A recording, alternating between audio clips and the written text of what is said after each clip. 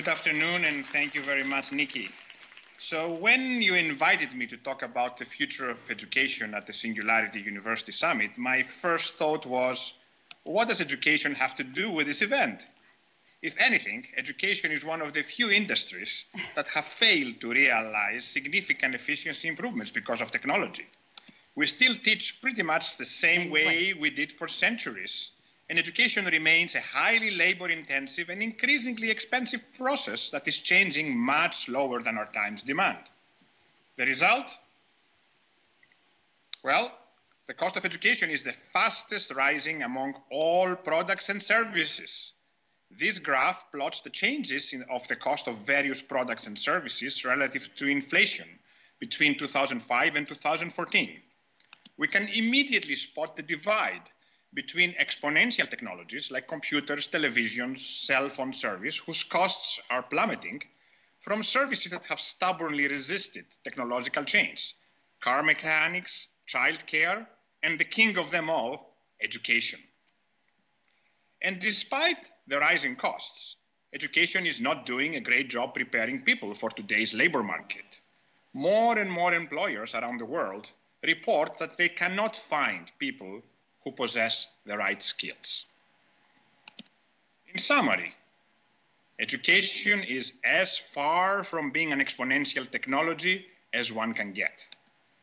Nevertheless, unless education can help people function effectively in a world that is increasingly dominated by exponential technologies, we are in trouble. And this is why this topic is just as important to talk about as the technologies themselves. So I've been working on redefining education at Boston University for the last seven years. In this presentation, I would like to share with you some of my predictions of how education needs and will change to accommodate the needs of an exponential world. So my first prediction is that education will become a lifelong service. The role of education has traditionally been viewed as preparing a person for success in the world.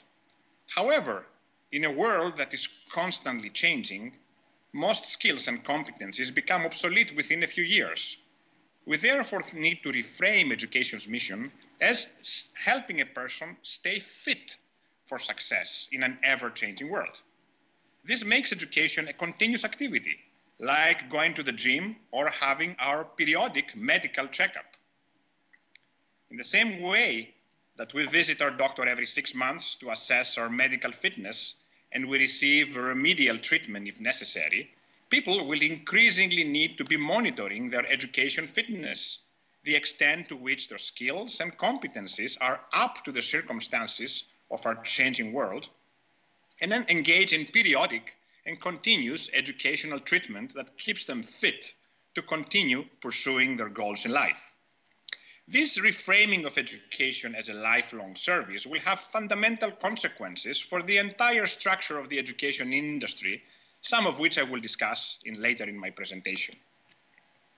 Does this all mean that there will be no need for universities? No.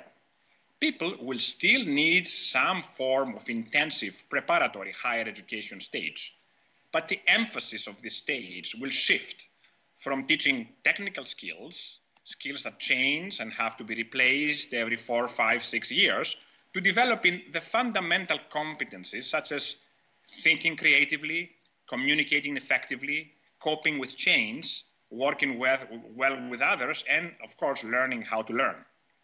Research shows that whether one becomes an engineer, a lawyer, or a teacher, it is such skills and not technical competencies that correlate most strongly with long term success.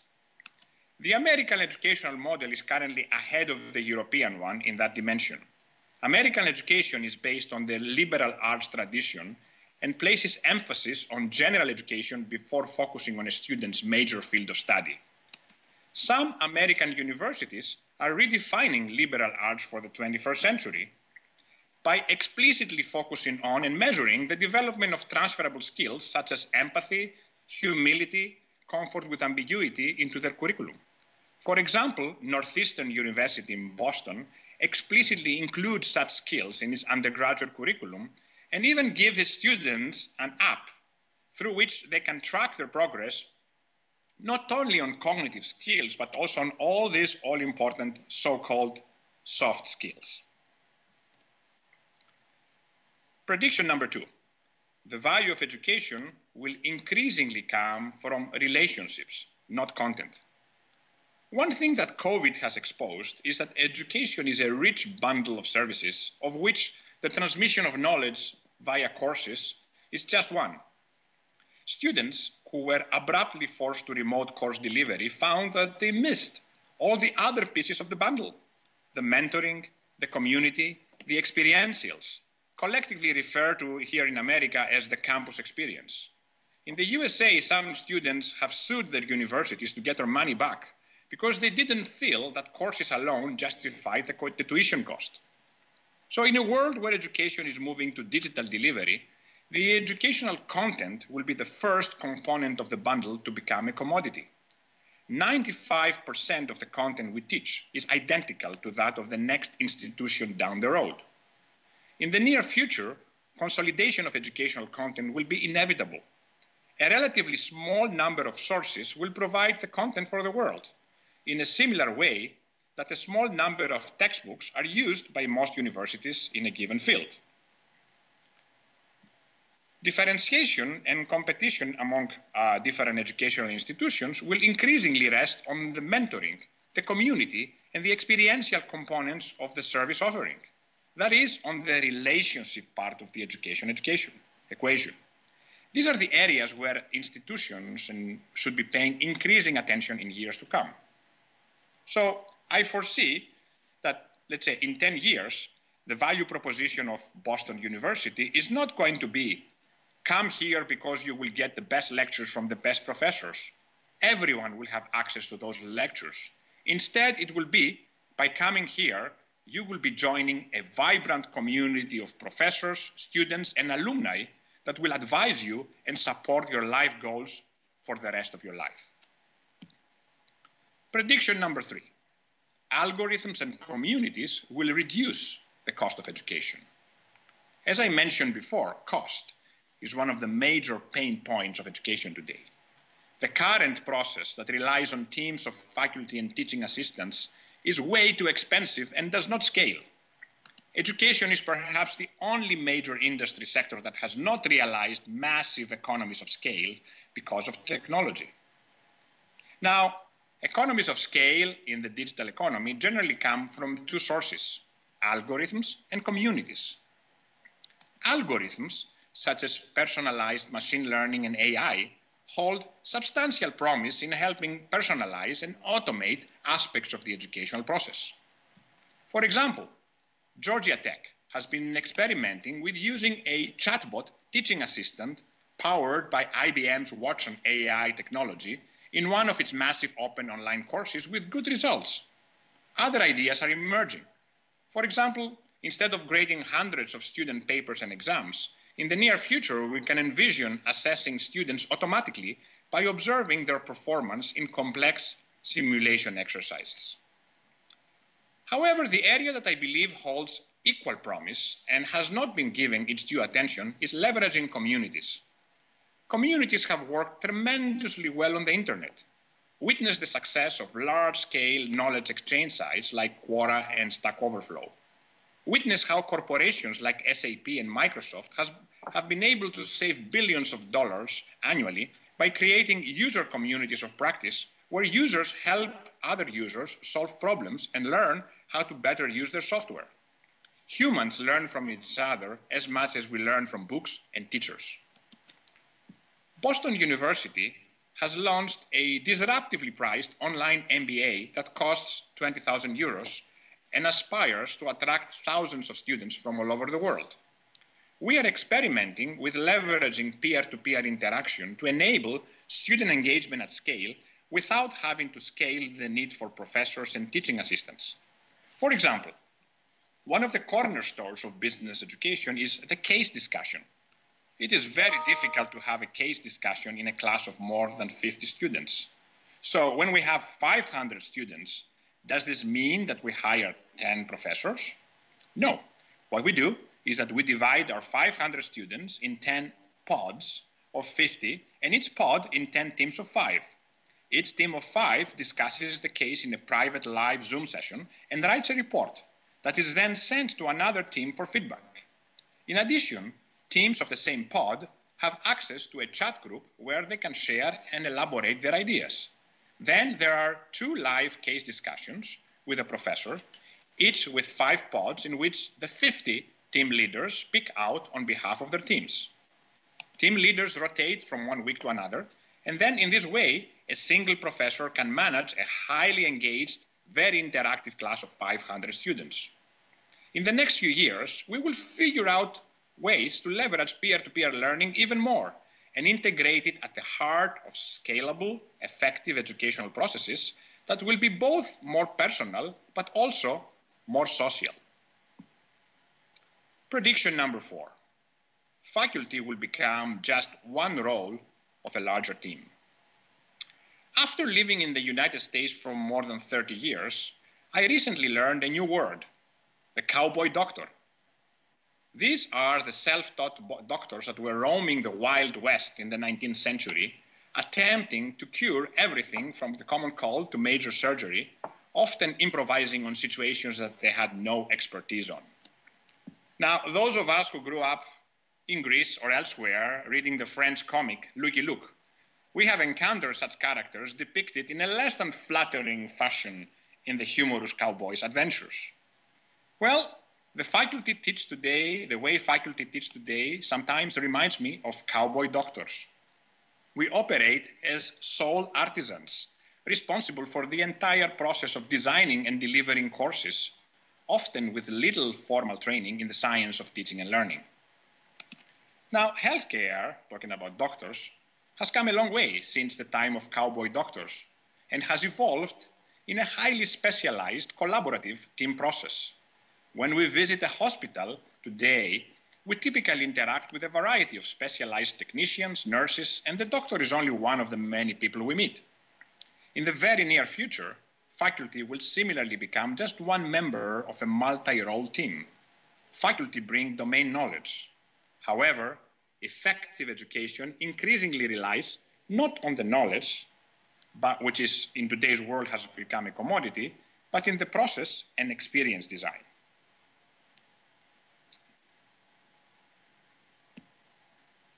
To produce our online MBA at BU, we of course employ faculty as content experts.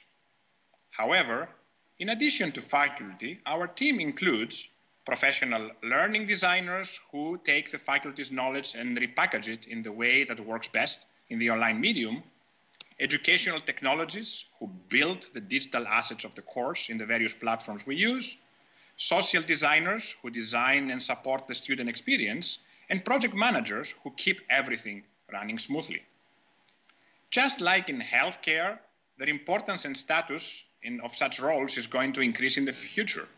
Teaching and learning will increasingly become a team process where trained professionals will apply the findings of the science of learning to improve the experience of students. And a conjecture, a hypothesis.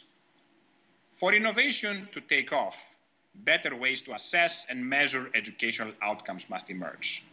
Okay, so I gave you a number of predictions. How quickly will all these marvelous changes happen? And will they happen at all? Over my career, I have witnessed many pundits predict radical change in education. Only this change never seems to happen as quickly or as radically than they, that they predict. Like, for example, I mean, the way that Nikki and I met was in 2013. I gave a talk here in Athens at TEDx where I talked about MOOCs. At that time, MOOCs were predicted to fundamentally disrupt education and leave only 50 universities standing. Seven years later, none of this has happened, and MOOCs are barely, barely exist. So why is education so resilient to change, even though change it desperately must? I have been asking myself this question a lot, and I think I have come up with an answer. Change in education will remain slow unless we overcome one fundamental hurdle that has prevented large-scale transformation, the ability to reliably measure and assess the outcome of an educational experience in improving a person's abilities. It is difficult to change anything unless you can measure it. Education is one of the very few industries where systematic measurement does not exist, does not take place. Colleges and universities give grades and grant degrees. But as we all know very well, this provides a very fuzzy and unreliable measure of what a person is truly capable of. Most of us do not fully realize the true quality of our own education until much later in our lives. When we choose our children's school, we do it largely on faith. The inability to measure a person's competencies in a meaningful way has led to an industry that is heavily brand dominated, hierarchical, and resistant to change. Let us pause and think why most of us, especially here in Greece, are obsessed with degrees from big name universities. Most jobs require degrees because they have no good ways to reliably assess a person's abilities otherwise. So the degree becomes a shorthand for those abilities, and the quality of a person is inferred by the quality of the university. And this is why we all proudly list our degrees in our bios and often in our business cards. The quality of the university, in turn, is largely based on tradition and rankings. The highest ranked universities are the oldest universities, and everyone else wants to look like them. This system is excellent for preserving traditions, but very bad for encouraging innovation. Now, imagine a world where there was a practical way for every person to communicate their true abilities at any given point of time, irrespective of how these abilities have been acquired. In the same way that a health record and a blood test can communicate our cholesterol levels and our iron levels, irrespective of whether we have attained them through diet, through exercise, or through supplements. In such a world, we would no, no, no longer be so obsessed with degrees. And then, by measuring a person's competencies before and after, we would be able to assess the true value of a wide variety of educational experiences, from courses to boot camps to internships, simulation training, communities of practice, etc. Innovation in education will explode once we develop reliable data-driven methods that can assess the value of a given educational innovation in improving a person's ability to be successful in the world. This, of course, is easier said than done. It needs both technical advances and undoing centuries of culture. In some areas, standardized testing of competencies by professional associations may provide part of the answer. But not all competencies can be reliably inferred by testing, and practically every form of testing is subject to multiple biases. Big data can be very promising. In today's world, we all leave an increasingly detailed digital footprint in our LinkedIn profile, our Twitter feed, and everything else that is posted about us. This can be analyzed by machines to discover correlations between a person's life experiences and their abilities. If lots and lots of information about people's training experiences and employment and social performance could be shared in a huge repository, machine learning could be employed to discover patterns that could help us understand how various experiences connect to building competencies and skills. Some employers, like Ernst & Young, are beginning to perform something along those lines at a smaller scale internally by not looking at degrees and using internal models of success to assess applicants with potentially non-standard backgrounds. Don't get me wrong, this is a difficult problem but if I was a government wanting to see long term improvements in education, this is the first area I would make investments in. Making advances here, transforming education from a good we largely take on faith to a measurable service is the key that will unlock everything else. To conclude, and with the danger of being just another pundit whose predictions will never become a reality, education is a sector where radical change is long overdue. In my opinion, the most important change that exponential technologies will force on education is the transition from a preparatory service to a continuous activity that will last throughout a person's life. The fact that information is everywhere will also shift the value of education from the transference of knowledge to the mentoring, advice, and network networking pieces. So education will increasingly be about relationships, not content. The cost of education must be addressed. Education is one of the very few industry sectors that have not achieved economies of scale due to technology. This is socially unsustainable. As with many other knowledge intensive sectors, leveraging communities and algorithms can achieve important breakthroughs. Education will increasingly be designed and delivered by multi role teams, where traditional teachers will be just one member and not necessarily the leader. In a world where knowledge is ubiquitous, content expertise will become less important than process and experience design. Societies and educational institutions will remain resistant to many of these changes because we don't have good ways of measuring the performance of educational innovations in improving the abilities of students, progress will be slow. Innovation will truly take off if and when we develop better ways of measuring a person's competencies independently of his or her educational credentials. That was it. Education in 2030 my predictions and my, my ideas and my hopes. Thank you very much for being with me today. Now I'm going to pass the baton back to Nikki. All those kids around us, I mean, not kids, kids uh, compared to my age, they are young adults uh, about their career.